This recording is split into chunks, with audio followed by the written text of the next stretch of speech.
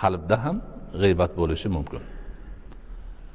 Bu qanaqa desa mo'min musulmonlar haqida yomon gumonda bo'ladi. Alloh taolo bundan qaytarib qo'ygan o'zi. Ha? ijtanibu kathiran minad-donni inna ba'dad-donni ismun deb qo'ygan alloh taolo. Gumondan chetda bo'linglar.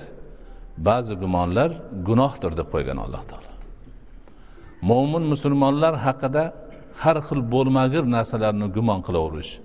Odamlar hammasi buzilib ketdi hammasi fosiq bo'lib ketdi hammasi u bo'lib ketdi. Undog'ida nima gap aytsang yomonlikka buraveradi ha shu ham bormi bu ham bo'ladimi? deb fikri zikri qalbida musulmonlar to'g'risida mo'minlar to'g'risida yomon gumon o'rnashib qoladi ana payg'ambarimiz alayhissalotu vassalom ham bundan qaytarganlar. Aytganlar iyyakum vazzonna inna zonna akzabul hadisi. Eng katta yolg'on shu odamlarni to'g'risida yomon gumonda bo'lish mo'min musulmonlar to'g'risida deganlar. Bu to'g'risida ham bir qancha hadislar rivoyatlar bor.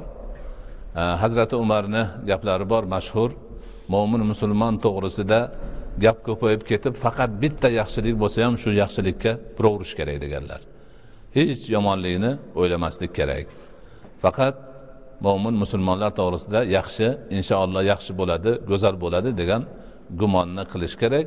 Ana shunda go'zal bo'ladi haqiqatdan lekin hamma bo'lmaydi chatoq rasvo deyaversa farishta omin deydi rasvolik ham ko'payaveradi.